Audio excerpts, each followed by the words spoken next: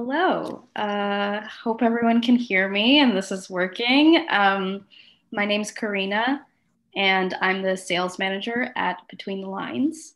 If you aren't acquainted with us, we are a social movement nonfiction press founded in 1977, and we're situated in Toronto, Canada, traditional Wendat, Anishinaabe, and Haudenosaunee territory, subject to the Dish with One Spoon Treaty. This land was stewarded by the Mississaugas of the Credit River and is home to many Indigenous peoples, including the Metis, and those displaced from their homelands by Canadian extractive and other industries. Um, I'd like to really thank you all for gathering here for the Zoom event and supporting independent publishing. Uh, we're sold out, which is really gratifying to see in a year like this. Um, it's been really lovely to do virtual events through the spring and summer and fall and see how much support there is for getting books like this out into the world. So uh, thank you for coming. Um, which brings me to the reason we're here, uh, which is Jeannie's Demise, Abortion on Trial in Victorian Toronto by Ian Radforth. It was published this past October and it's available from everywhere books are sold. But if you order from our website, uh, btlbooks.com, before the 25th, you can get it for 30% off for our holiday sale. So I'm going to drop a link in the chat once we get going for that. Um, the author Ian Radforth has joined us today. Uh, he's professor emeritus in the Department of History at the University of Toronto. He's a Canadian social historian and the author of several history books. And he's joined by a really great panel lineup we have tonight. Um, Karen Dubinsky, professor of history and global development studies at Queen's University. She's the author of many books, including Cuba Beyond the Beach, Stories of Life in Havana, which BTL also published. We have uh, Carolyn Egan, uh, President Steelworkers Toronto Area Council and President United Steelworkers Local uh, 8300. And uh, she is a prominent activist in the women's and reproductive justice movements. We have Adam Bunch, who is a historian and creator of the Toronto Dreams Project, as well as the author of the Toronto Book of the Dead and host of the Canadiana documentary series. And uh, we're very happy to be joined today by our moderator, Franca Iacovetta, who's a professor of history at the University of Toronto and a Canadian feminist historian of women and gender. So uh, clearly, we're in very, very capable hands for this event. Um, I'm really happy to turn it over to Ian to talk a little bit about Jeannie's demise, and then we'll get into more of a roundtable panel discussion. And there will be time at the end for questions. So I really encourage you to make use of the Q&A feature um, right at the bottom right um, of your Zoom screen and uh, ask any questions and hopefully we can get to them all. So I'm gonna turn it over to Ian now. Well, thanks, Karina. And uh, thank you all for coming. Uh, I appreciate also the involvement of our panelists. I look forward to their comments. And a special thanks to Franca for organizing this event. Researching and writing this book was a retirement project for me. For the first time, I set out to write a book uh, that is non-scholarly, that I hope will uh, interest a wide audience. Very early in the process of casting about for a suitable topic for such a book, I came across the 1875 Toronto trial of husband and wife abortionists Arthur and Alice Davis. They were charged with the murder of Jeannie Gilmore, who died as a result of the abortion Arthur performed it immediately struck me that this was an interesting topic that I should take up. For one thing, it was well documented in the records of the uh, uh, Crown Office, um, uh, the prosecutors. But even more important, it uh, involves a topic about which historians haven't written a great deal. That is uh, the history of abortion, the social history of abortion in 19th century Canada. Um, abortion was illegal in 19th century Canada and for many decades afterwards. Um, and that didn't mean that there were no abortions, of course. It meant that uh, abortions were driven underground, that they were conducted in secret. And that makes it difficult for historians because it means that uh, very few or no records were created in the vast majority of instances of abortion. However, in a few cases, uh, an abortion led to the death of the woman, and that brought uh, police, uh, the courts, and the press into the story. And they, of course, created all kinds of records. And that's the case with this story involving Jeannie Gilmore.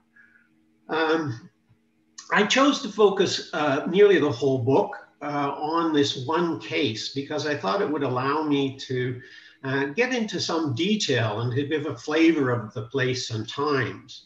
Um, Jeannie's demise, uh, the book looks closely, uh, as closely as possible, into the characters of the story.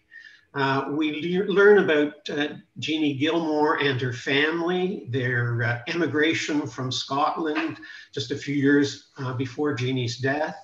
We learn about her father, who was an earnest evangelical and became a, uh, an ordained minister in the Baptist church. We learn about the struggle of the family to establish a bush farm in Northern Ontario in the Parry Sound district. And we learned something about Jeannie's life as a servant in rural homes and then in the home of a reasonably wealthy family in Toronto. In 1875, at the time of her death, Jeannie was single and 23 years old.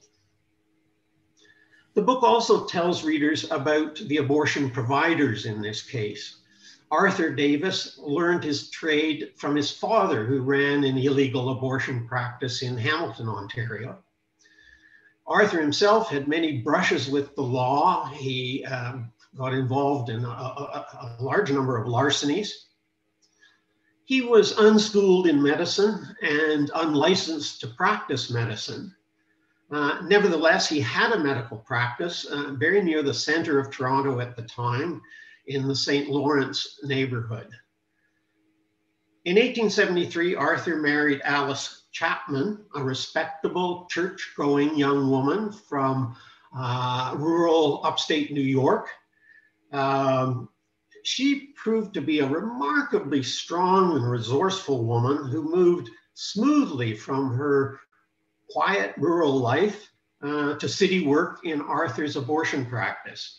Uh, she took charge of, situations there, uh, very often because Arthur uh, had a drinking problem and he was so drunk he couldn't uh, uh, handle the business at many points. He was probably very drunk, sad to say, at the time he performed the abortion on Jeannie. The book introduces various minor players uh, the night watchman and the uh, uh, detectives who played a part in the apprehension of the Davises and the laying of the murder charges in the case of the police. We learn about the lawyers who prosecuted and defended them, um, the men uh, who were charged with crimes uh, after the Davises confessed to their crime. I tried to give a sense of the flavor of life in Victorian Toronto. Um, uh, the places where events took place, like the police court and the uh, uh, county court. Um, we also get a sense that it was a walking city where, at least in the center of town, people recognized one another and were very aware of each other's presence on the street. It seemed like a small town still in the center of Toronto. But at the heart of my story is the tragedy of Jeannie's demise. The book serves as a reminder of how desperate women were who, like Jeannie, found themselves pregnant out of wedlock. It demonstrates the risk they took by turning to the unschooled people who sought to profit from women's distress at a time when everyone, including licensed physicians, were prohibited by law from performing abortions. There are obviously, I think, important lessons for today um, at a time when uh, women's ability to choose is constrained by access barriers in many parts of Canada, and when the basic right to choose is increasingly denied in the United States. That's all I'll say for now. Um, I'll hand it over to Franca. Okay, thank you, uh, Ian, for those uh, opening comments. I uh, am going to act as moderator of the panel, and uh, the panelists are going to speak in the following order. We'll have Karen first, then we'll have Adam, and then we'll have Carolyn. So um, without further ado, I'll pass it over to Karen. Thank you, Franca. Thanks to Between the Lines for this invitation. Um, and thanks to Ian Radforth for writing such a compelling and interesting book. I've been looking forward to this discussion for some time. Um, I'm going to focus on a couple of things that I particularly liked about the book, things that really struck me. Um, then I'll become full nerdy historian for a moment towards the end and speak about um, archives and the sources that Ian used uh, to, to write this terrific book. But I'm going to start with a little story, um, a story that is actually seared in my memory. It's something that took place in the early 1990s when I had just arrived at Queen's University's history department to take a position there. Two older male colleagues, um, and I don't actually really need to say male because that's kind of who was around in those in those days, uh, were standing, hanging around outside the department office uh, by the mailbox. Um, they were talking together, and I heard one of them congratulate the other for an upcoming talk that he was supposed to be giving in a kind of an odd, jokey way. And he actually, it actually, to my ear, almost sounded a little bit rude. Um, the colleague who received this slightly backhanded compliment just laughed. And he responded by saying something like, well, you know, this is supposed to be a popular talk. So, you know. And then they both chuckled, and uh, the, the, the one giving the talk kind of shrugged his shoulders. They chuckled, and uh, I realized something important at that moment uh, about the rules of the game in this um, institution or this profession that I had just joined. Among serious historians, popular means no big deal. It means nothing to worry about. It means nothing to take seriously.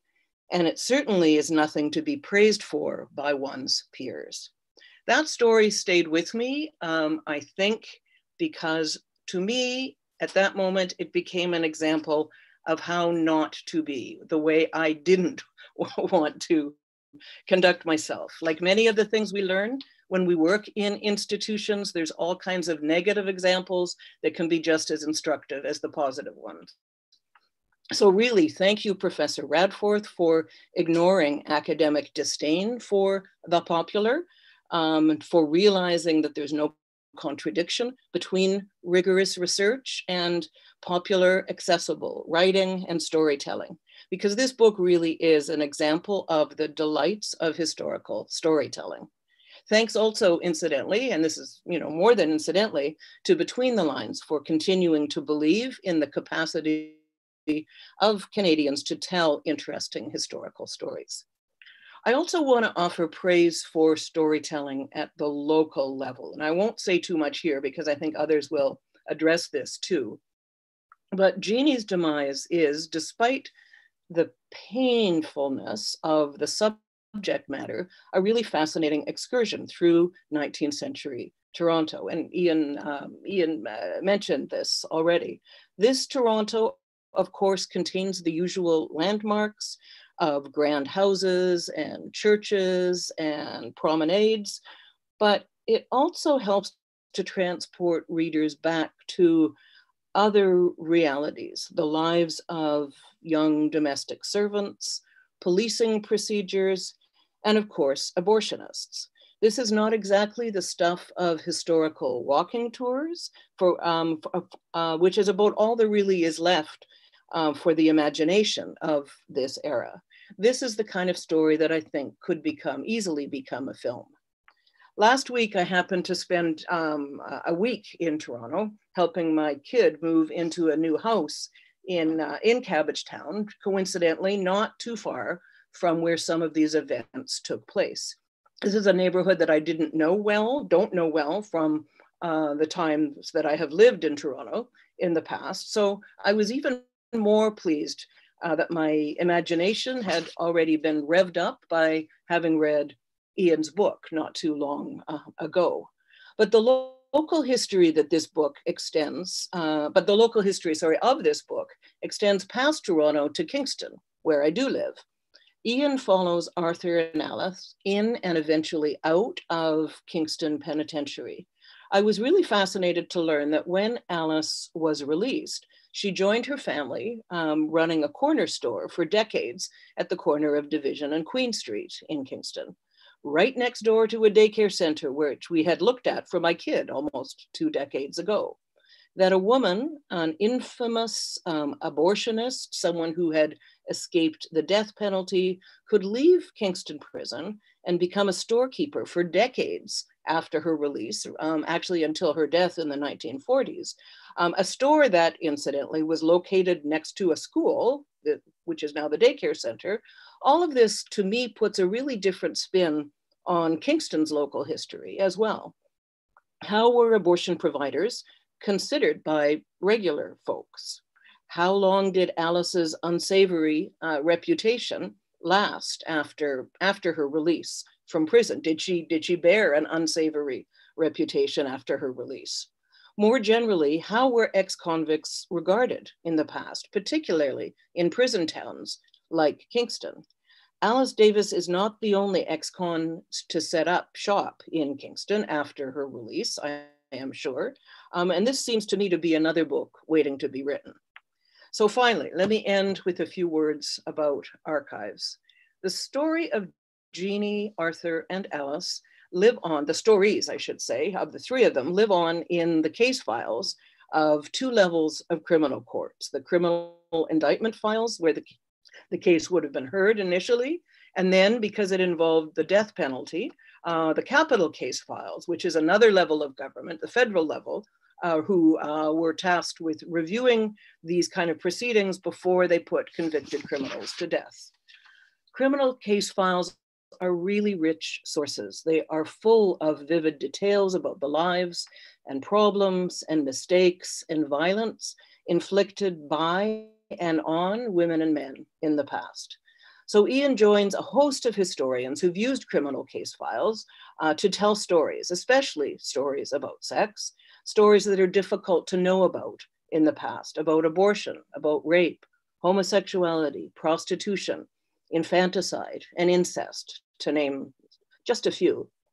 There's a list of historians that go along with those categories, too numerous now to mention, scholars who've written books and articles about literally each one of these criminal categories. All of this work, and this is stuff that's been published over the past few decades, has given us some really important insights into sexual relations and sexual conflicts in the past. What Ian has done, which really bears emphasizing because it's quite rare um, is to take one crime, an abortion that resulted in death, and research the hell out of it in order to say something about the lives of the protagonists beyond the crime itself, which is, of course, what made the story a story in the first place. That's the only reason we even know about it. This crime was sensational and was much commented upon in the press, but this book includes a quite amazing amount of information um, about uh, about you know everyday people, the lives of uh, Scottish immigrants, poor Scottish immigrants who arrived in 1870s Ontario, the employment options and experiences of their young daughter, Jeannie. Even the detail of Arthur and Alice's abortion practice were not exactly available for the historian's eye without a great deal of digging. Some of you are probably familiar, no doubt familiar, with the Nigerian writer Chimamanda Adichie's famous TED Talk. Uh, it's called The Dangers of a Single Story. I've used this for teaching for years. I'm sure many of you have as well. It's a very simple but powerful message about avoiding stereotypes about other people um, and cultures. In other words, by not relying on a single story of, of whatever. As I was reading Ian's book, I kept thinking that there's can actually be a lot of power in a single story. Uh, Jeannie Gilmore was not the only woman to have died from a botched abortion, past or present, but in her single story, artfully researched, we can see the connections between her story and the much broader word, uh, world of patriarchal politics generations later. This world of sexual politics, where sometimes women pay with their lives, isn't the same now, but it's not as different as I think we all hope it will become. Thank you, Karen, very much for that. Um, I want to encourage people to use the Q&A uh, function if you want to put forth some questions. We've got uh, a, couple come through already. And I'm um, going to follow those fantastic remarks by Karen by turning things over now to Adam. Well, thanks so much for having me. I'm very excited to talk a bit about the book because uh, I do I echo Karen. It's a wonderful book that brings uh, the story so much to life. Uh, and you do hear so often from people who aren't, uh, you know, giant history nerds are immersed in history every day uh, that it can sometimes be hard uh, to engage with.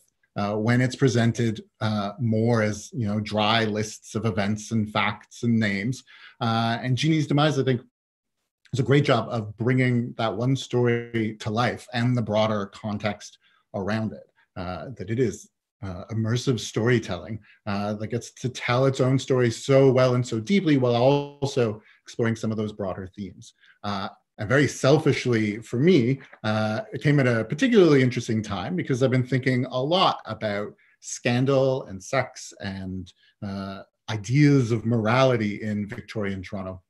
Uh, in my own work, a book I've got coming out next month, the Toronto Book of the Dead, or sorry, the Toronto Book of Love.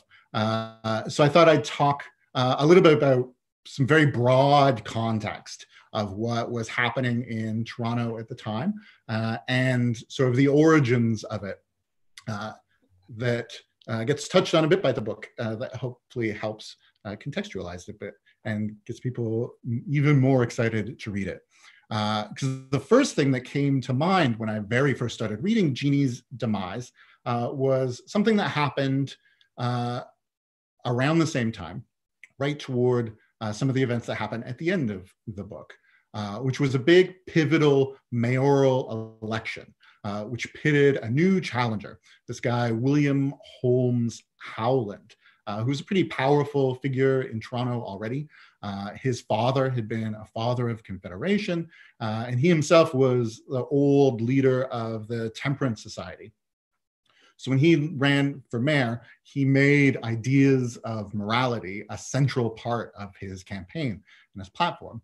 Uh, and in fact, his campaign slogan that was coined uh, became something of a nickname for Toronto that still gets used today. It was Howland who called it Toronto the Good. I'm sure you will be shocked to hear that Howland's concept of what was good uh, wasn't exactly an inclusive or progressive idea of morality. It was very conservative, very British, and very Protestant. Uh, and that's a vision for Toronto that I think you can trace back right to the very founding of the city in the late 1700s. It was founded by British governor John Graves Simcoe, who was a veteran of the American Revolution who'd fought against the revolutionaries. So his vision for Toronto uh, was a city that was going to be so thoroughly and successfully British uh, that the Americans couldn't help but get jealous uh, and beg to be let back into the British Empire. For Simcoe, uh, morality was going to play a very central role. He said that all just government is founded on the morality of its people. Uh, and for Simcoe, just like Howland a century later, and so many people in Toronto throughout its history, that meant a very specific thing this idea of a very British, very Protestant morality. uh, and I should maybe mention uh, that even people very close to Simcoe weren't exactly following that strict moral code.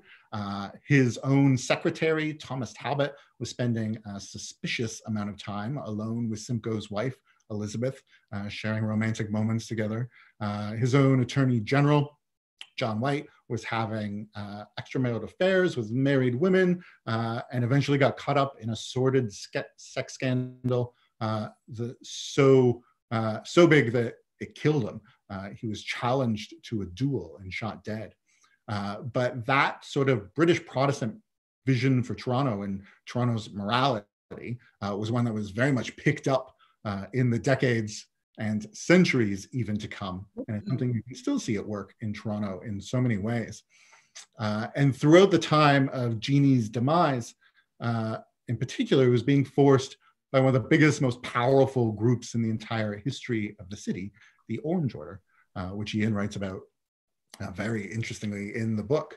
Uh, a group that had been imported from Northern Ireland uh, that was ultra British and ultra Protestant and very anti Catholic, uh, that both enforced that vision of Toronto the good on its population at the same time that they ensured that when that code was seen to be broken, that it wasn't their own members who would be paying uh, the deepest, most heavy price. Uh, so there are countless examples through the 1800s that sort of echo that. So in the 1840s, uh, the mayor of Toronto, Mayor Boulton, was found uh, to be the landlord of a brothel on King Street. But when neighbors who went to him to complain about the noise, uh, thinking that once he knew what was happening there, he would have it shut down. Uh, he turned them away and said he could do whatever he liked, uh, in part because he was mayor, but also because he was from one of the most privileged old settler families in Toronto, and because he was one of the most powerful members of the local Orange Order. And indeed, when the neighbors did go public and the big scandal broke out, it wasn't Mayor Boulton who found himself on trial. Uh, it was the black man who ran the brothel who found himself on trial and found also that the judge presiding over the case uh, was none other than Mayor Boulton's own uncle, and that Mayor Boulton himself would be sitting next to the judge uh, as his associate. It's not exactly uh, a city that was always consistent and fair in handing out justice, uh, and those who weren't part of the elite uh, who weren't Protestants, who weren't British, and who weren't men, uh, found themselves on the receiving end more often than not. Uh, another big scandal broke out about 10 years later, I think, uh, also involving the Orange Order and another brothel on King Street, which happened on July the 12th, which is the big day on the Orange calendar when the big Orange Parade would take over the city. And uh, a bunch of firefighters uh, headed down to the King Street brothel to celebrate that night, where they got into a big brawl with some clowns from a traveling circus that was visiting from the United States. Uh, and the following morning took revenge by organizing a big orange mob to head down to the fairground, uh, attack the circus, and drive them out of town. And again, the firefighters weren't the one who's paid the heavy price because they were all Orangemen, and all the officers in the police force were also Orangemen who all developed conveniently hazy memories when it came to crimes committed by Orangemen. Uh, and Ian's done a wonderful job in Jeannie's demise of exploring how some of those dynamics play out uh, in the case of Jeannie Gilmore, uh, and how some of them, interestingly, don't. I think it also uh, sets up very interestingly, uh, really the next century of history in Toronto, uh, where you can see threads that start in the story of Jeannie Gilmore, uh, because William Holmes Howland did win that mayoral election on his platform of Toronto the Good uh, and his promise to crack down on what he saw as vices uh, and uh, created an entire new part of the Toronto Police Department called the Toronto Police Morality Squad that was charged with the task of cracking down on what uh, they saw as vices, which included drinking and sex work and um, uh, homosexuality. Uh, they're said even to have once shut down a play in Toronto because uh, two of the actors on stage shared a kiss that lasted too long uh, and was too immoral to be allowed to continue on. Uh, and they would have power in the city for another century to come until just a few decades ago, really. So that I think a lot of the history of Toronto in the 1900s can be seen in stories like Jeannie Gilmore's. Uh, that over the course of the 20th century, uh, one of the big stories in the history of Toronto, I think, is uh, people struggling against that old Victorian morality, uh, even Georgian morality, uh, and trying to dismantle it in favor of a vision of Toronto that would be more inclusive, more equitable, more democratic. and I think Jeannie Gilmore's story and the way Ian tells it in the book does a great job of filling in one story that fits into that grand narrative of Toronto and reminds us uh, of issues uh, that were dominating uh, the city back then, even though uh, so many of those stories end up going untold uh, and getting lost into history, uh, and helps remind us both of the importance of that back in the 1870s and some of the ways it echoes in the Toronto of today. Okay, thank you very much, Adam. Um, talking about contest and conflict and cruel ironies of uh, Toronto the Good. That was very, um, very helpful. Um, I'm now going to turn things over to Carolyn. Thanks very much, and thanks for including me in this uh, in this discussion. I very very much enjoyed the book, and I really would urge anyone uh, listening to this, participating, to please uh, please take it up because whether you're a history buff or interested in the class dynamics of Victorian Toronto or in the history of women's oppression and the struggle for reproductive justice, abortion uh, access, uh, it, uh, it, it, paints an extraordinary picture, I think, that uh, I do believe will have, uh, have an impact on the uh, on, on, on the struggle that we're still involved in. And one of the things that struck me as I was first reading it was um, something that I'd heard from a physician a long time ago when I was first getting involved in the abortion rights movement in probably the late 70s. And if I remember properly, his name was MacLeod, which would give a sense of his Scottish background and perhaps was a someone who came from uh, from the stock that was active and involved in the history and creating the history back in uh, in the time uh, that this took place. And he talked about how uh, prior to 69, and I won't go into all the details of different abortion laws in this country, but before the uh, Trudeau government put uh, an omnibus bill, bill forward and and opened up to a degree abortion access, he said in a in a in a hospital that he was associated in the East End of Toronto, rarely would a weekend go by that a woman would not come in uh, from a botched illegal abortion. And that was in the 1960s. Uh, and not that all of them died by a long shot, many of them survived because they had a hospital to go to. But he talked about it and how he and others in the medical profession, as, long as, as well as the women's movement, became quite committed to changing that horrendous situation that, that they, they, they, they saw there. And what he also said and I think what this book uh, brings out as well is that it was the most vulnerable women who were so often uh, uh, put at risk through uh, the backstreet illegal abortions. Uh, because uh, the way he framed it was if you if you had resources if you were more upper class a higher income woman you could usually find a doctor, and certainly in the 60s, the procedure was much safer than it would have been in this time, uh, who could do it in a, in a, reasonably safe and antiseptic manner.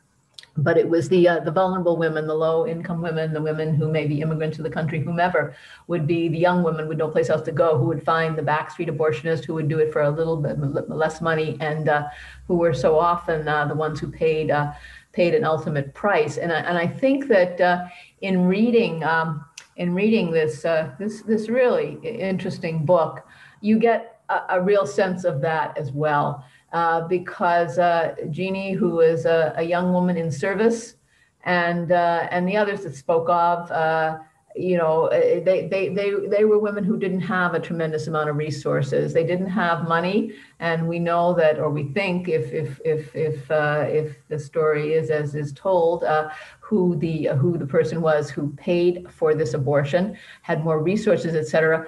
But it, it, it was women who were vulnerable, without resources, without a lot of options, who often paid the price that the Jeannie paid, and if not death, you know, severe, severe problems. And it didn't mean that everyone who went to an abortionist like uh, Arthur Davis uh, died or was seriously uh, injured through the process because uh, I'm sure that was not the case. And uh, it's pretty clear that numbers of women went and went through the process and went on and, and lived their lives.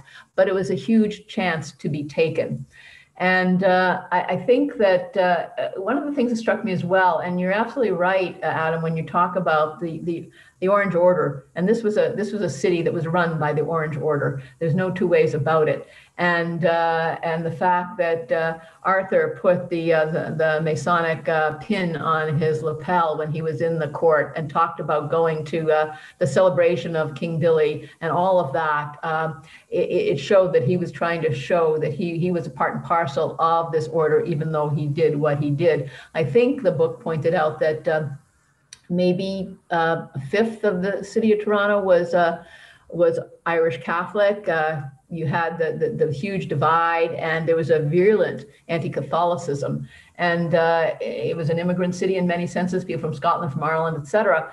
Uh, and it points out also there were there probably were indigenous people, but very few, black people, but very few, and uh, immigrant peoples, but who who would not have spoken English as their first language. But the dominant as you pointed out, was the Orange Order, and then a smaller, uh, a smaller uh, Irish Catholic uh, uh, uh, part of the population. But nonetheless, the Orange Order had its perspective, and it was very firmly against abortion, any access to abortion at all. And so did the Catholic Church. And the Archbishop, as I think you saw uh, noted in, in the book, said something to the effect, the slaughter of the innocents. And I certainly remember that in the whole campaign that we, uh, those words that we, we, we, raised. And my own background is Irish Catholic. And uh, the Orange Order, I won't even go into all that business, but uh, I'm very, very familiar with that from a, from a different world. But um, that, uh, but they had the same, absolutely same perspective. And it was young,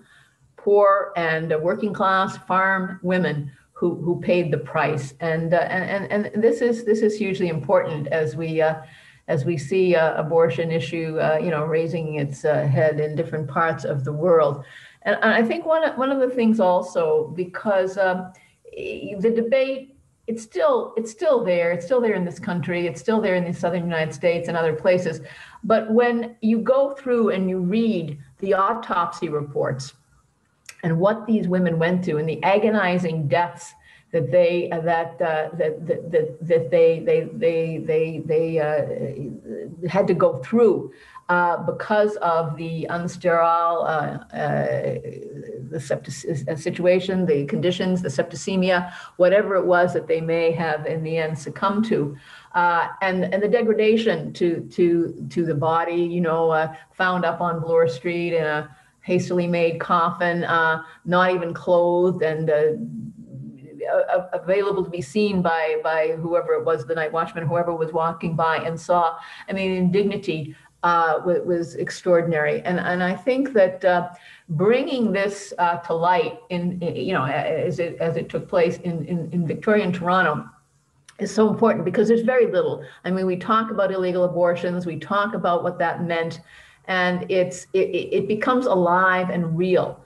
And and one can i think very much uh, when one reads it you see the huge the, the huge risk that women took the cost that women took and why the uh, the uh, I, I, suppose the uh, the, uh, the the the courts were quite harsh. Death penalty right off the bat but also because, as, as, as you stated there uh, in some juncture, at some point in, in, in the book, that uh, people were becoming more tolerant of abortion. And, and that couldn't be. And, and we can go into all of the, the you know, the, the, the analysis of women's oppression and what that means, not being allowed to have reproductive freedom, not being able to have control of one's own body.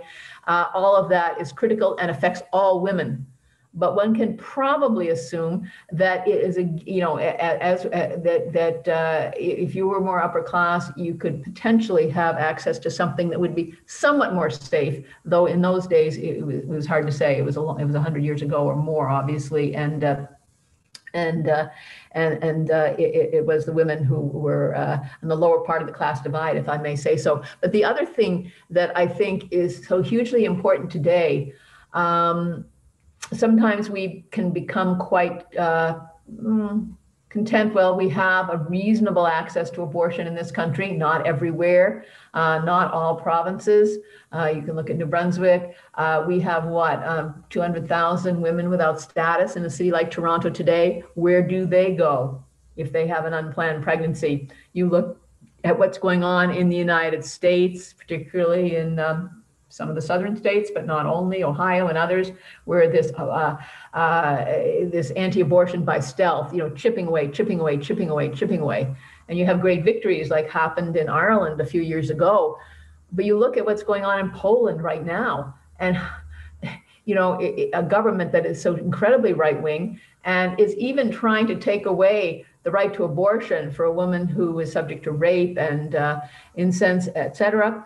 But what it has done, and I think what's so hopeful, is that it's unleashed a huge movement that is going beyond simply, and I don't, I shouldn't use the word simply, but the, the right to abortion and, and women's right to control our, our own bodies, but is shaking uh, the foundations of that government. How that will go, we don't know. I, am on a, a, a, call next week, a Zoom type of thing with some Polish women on the very question.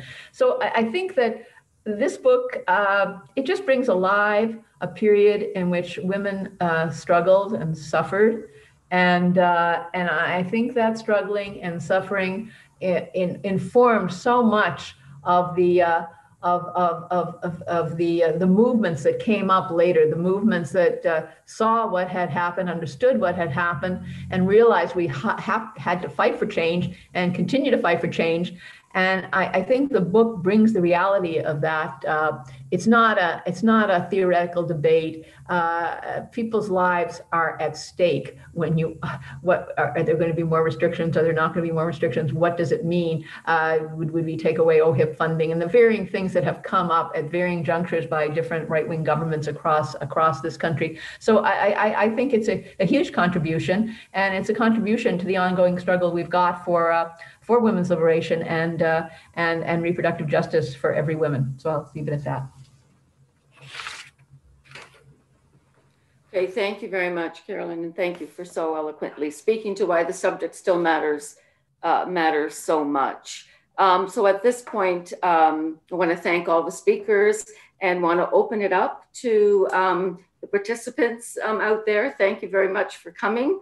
And I've got some questions that I can uh, pose. Um, well, some of them are posed for Ian. I also invite panelists to uh, to address them as well. But uh, and I encourage people to um, to send in um, more of your questions. So the first question, which came from Louisa Del Giudice, uh, who's in Los Angeles. Thank you for uh, joining us, Louisa.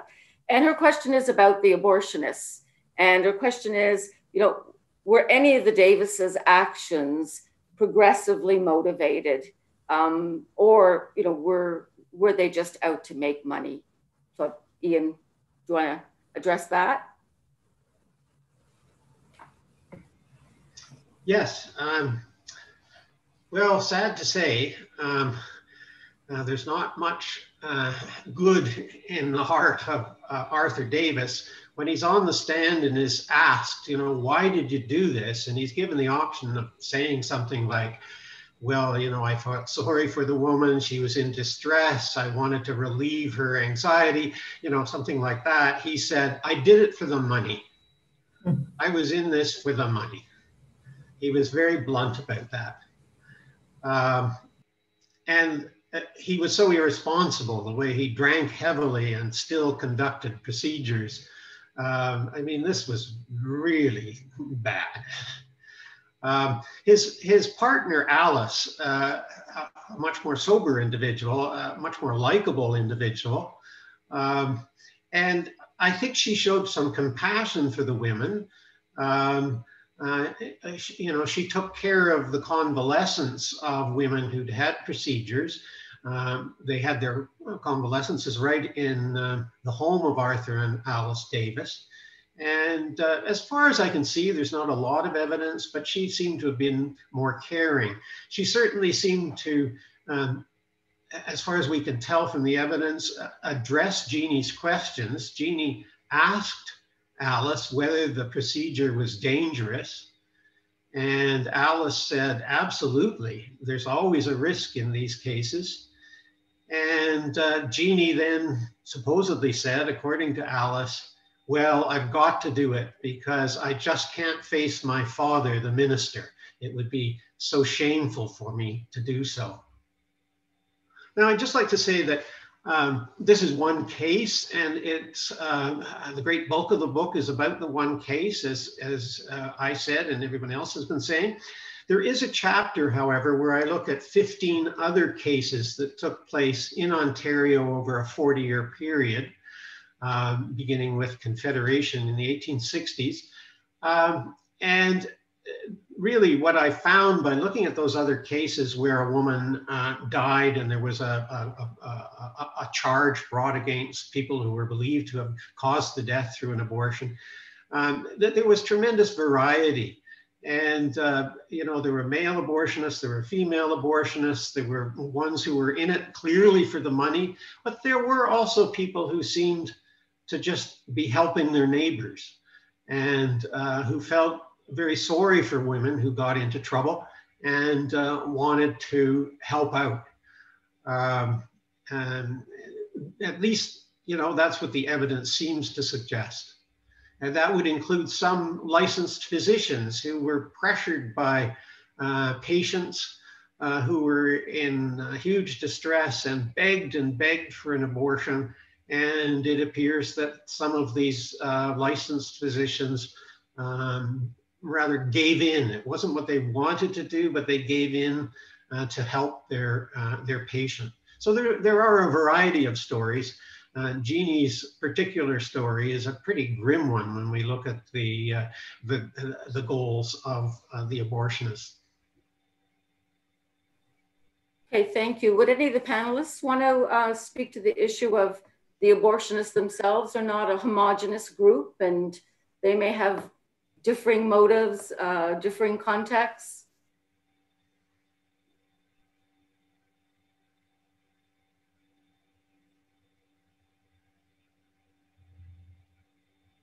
Well, maybe I'll just say it's Carolyn here. I noticed Robin uh, Schwartz asked about midwives because midwives were often uh, the women who uh, would be, uh, uh, you know, would be providing the procedure and, and doing so eh, most probably in a, a much more caring way. And I, I, would say that even Dr. Morgentaler, who did this, I mean, he put his life on the line, went to prison, et cetera, he was often accused of doing it for the money, which was absolutely not the case. Uh, you know, he did it to change the law and make it much more accessible. But, but uh, but I think the question of midwifery, you know, is is is is is, is a piece of this as well. Yes, I was I was rather surprised that when I looked into these uh, cases where uh, charges were laid because a woman died um, as a result of an abortion, apparently, um, that no midwife turned up as mm-hmm. as uh, the abortionist in any of those cases. Um, and, and I don't know what that means. I don't know whether uh, they were uh, better at hiding things or it was uh, less likely that someone would die in their care. It's, it's very hard to know in the ab absence of direct evidence. Mm -hmm. Yes, and Robin just wrote to say that they probably knew the women's bodies better. So I think Okay, I'm going to move on to an, uh, an historian's question. Uh, this comes from uh, Jim Retallack, who's a colleague in the history department at U of T, uh, who says he's can't we can't wait to read your book. Uh, but he did wonder about um, thinking. Uh, uh, he was interested in you know the notion that we we know so little about Jeannie, but of course we want to make Jeannie you know an important part of the story because it's her story is so important here. And how did you think through or talk with your editor about you know, how much how much space to Jeannie? Uh, how do you allow her to disappear, you know, into the other stories that you tell? To what extent were you trying to, you know, juggle juggle these things as you as you try to write up? You know, as Karen said, you were writing a number of stories and weaving them together in this study. But Jeannie Jeannie uh, uh, is at the center, and yet we don't know as much about her as others. So how did you deal with some of that? Yeah, I was very aware of that problem for the writer. Um, and it's something I addressed briefly right in the at the start of the conclusion of the book. Uh, uh, you know, I point out that that Jeannie sets in motion everything that happens, uh, and yet we know so little about her. Uh, you know, I have one letter that um, she wrote, and uh, it was eventually uh, printed in the newspaper because of her death. Um, and that's the only direct evidence we have from her. There's nothing else at all. Everything else is uh, how people described her, what they said about her. And now we have a number of perspectives on her from her father, from uh, uh, various friends, uh, from her employers. Um, so we get, you know, we get some sense of her from that sort of thing, but it is uh, rather disappointing uh, uh, that there's so little direct evidence about her. Uh, and the story inevitably gets more focused on the abortionists who are on trial, after all, and the trial is a big part of the case. And then their confessions are very significant. Um, this gives us a, a, a, whole lot of evidence of a sort that um, we don't have in most of the uh, abortion murder cases. Uh, so uh, their confessions, uh, we get the sort of inside story, at least as they wanted it to tell it, uh, insofar as they wanted to reveal what actually happened. And then we have um, um, uh, the subsequent trials that occurred as a result of their confessions. Uh, I don't really want to go too much into that because it gives too much of the story away. And I think if people haven't read it, there's a certain uh, uh, uh, crime novel kind of feel to the book that, that leads you to wonder what's going to happen next. Um, but yeah, the whole um, problem with uh, uh, the lack of evidence about Jeannie is, is an issue. And perhaps most disturbing for me um, is the fact that we never learn uh, how it was she got pregnant, under what terms she got pregnant. Uh, you know, she might have been raped. Uh, she might have had an affair with her employer who impregnated her. Um, that seems like the most likely scenario given the very small amount of evidence that uh, um, uh, shines a bit of light on this uh, matter. But it, it is disappointing that we, we can't, we cannot know and we will never know uh, what actually happened to her.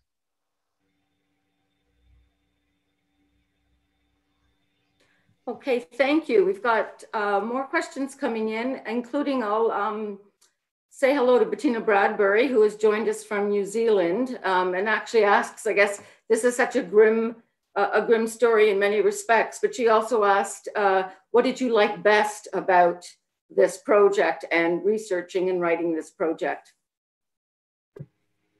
Hi, Bettina. Great that you're with us.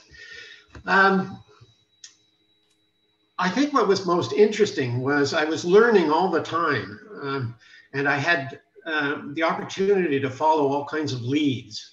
And as I've said, there hasn't been much written about the social history of abortion. We have good work that was done a few decades ago on the law in abortion, uh, Constance Backhouse's important works. Uh, but as for the social history, uh, you know, there's very little understanding of it. So I was really learning all the time. This was a new topic to me and new evidence I was coming across, and that, that was exciting. But there was all kinds of byways I went down in writing this book. Uh, you know, the night watchmen were important in this story because uh, they saw this uh, coffin-like box, uh, new and heavy, being removed from the Davis's house. There were two different night watchmen on different beats who saw the, the coffin being moved about town. Uh, under the cloak of darkness uh, uh, at midnight. Um, and uh, uh, I didn't know anything about Night Watchmen in Toronto. I've never seen anything written about it.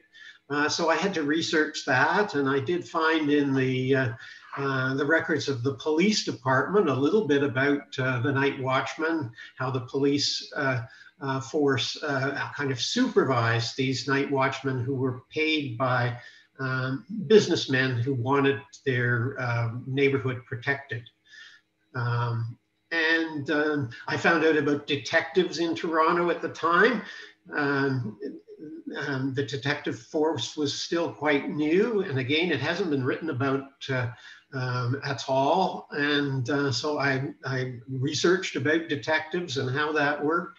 Um, and, uh, you know, I just was constantly learning new stuff as I went along. And, and uh, that, that was uh, uh, kept me very, very interested. Uh, I, I beavered away on this book, you know, for a, a, very sustained period because it, it just kept me going. There was no lull, as there often is in research when you've seen too much of the same thing.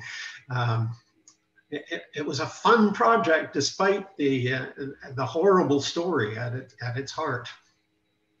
Sometimes I feel a bit guilty saying it was a fun project, but I'm talking about the research process when I say that, not the subject matter.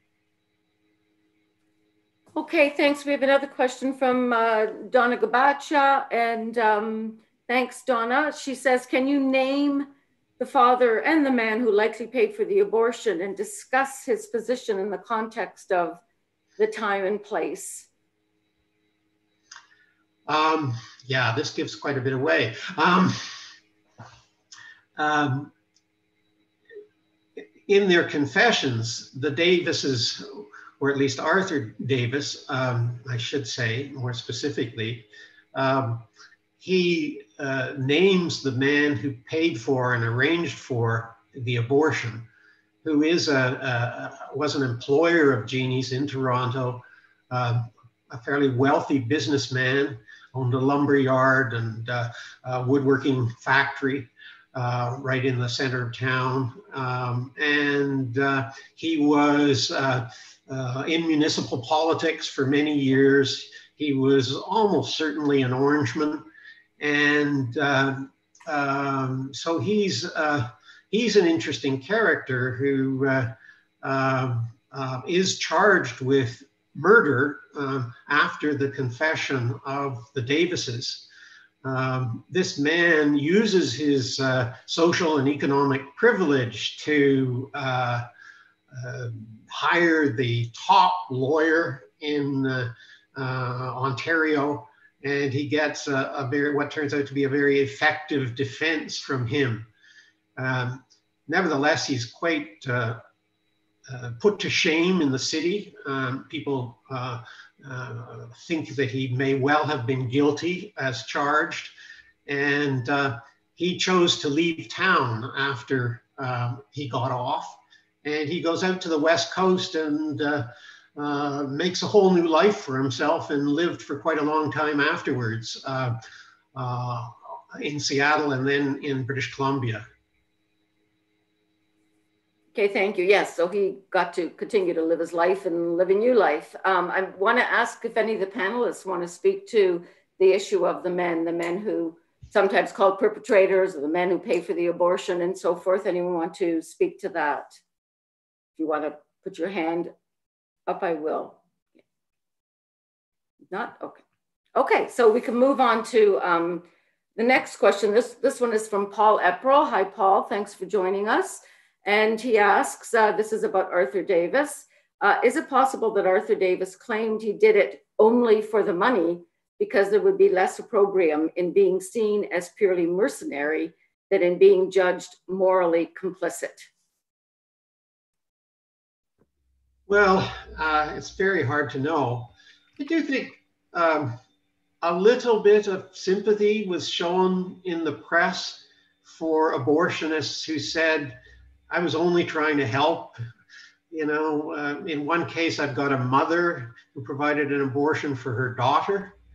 And, um, you know, uh, she looked kind of, it seemed such a sad situation she was in. And I, I I, the press doesn't say a lot. It's hard to know what most people were thinking. Of course, the evidence is very slim, but there might have been some sympathy had Arthur Davis said, uh, you know, I was, I, I, am in business, yes, but I'm also doing an important service here that's very much needed, and I hope, um, I hope uh, to, to help people. Um, um, and he's an interesting character too, insofar as you know he actually had all kinds of medical books and all the latest medical equipment. He was apparently trying to do a, a good job in his profession um, at the same time as he was he, he was out to make money. Okay, a question from Andre Levesque. Hello, Andre. Thanks for joining us. Um, and she says, in my research, I found evidence of male abortionists uh, who raped the woman in order to uh, lower the fee. This will also be our last question as we're coming to the end of our hour. That's very interesting. I uh, saw nothing like that for the Ontario evidence uh, uh, I looked at. Um, uh, but one can imagine that uh, if these abortionists were, you know, out for the money and not all the women who came to them could have, course, afford the fee. I certainly found evidence of a lot of bargaining around the price. the women trying to get it done for less and the male doctors sometimes um, giving in a bit and, and sometimes not. Okay, thank you. So there, uh, there are various questions from people who are asking about what's next, but they're just gonna have to wait for what's uh, next in terms of your own uh, research and writing. Um, I'm gonna thank everybody and I'm gonna turn things over to uh, Karina.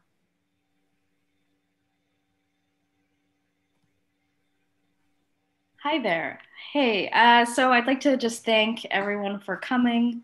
Um, again, lovely turnout, and thank you so much for um, putting so many questions in the chat. It's been a really stimulating discussion. And uh, I also want to thank all of our panelists and thank Ian for writing the book and Franca for moderating so well. So it's it's been great. Uh, thank you all for coming. And uh, don't forget to check out the book on our website. Just to reiterate, it is 30% off from now till December 25th because we're running a holiday sale. So great chance to stock up on it. Um, yeah, so uh, I guess I'll sign off now and just uh, thank you all for coming.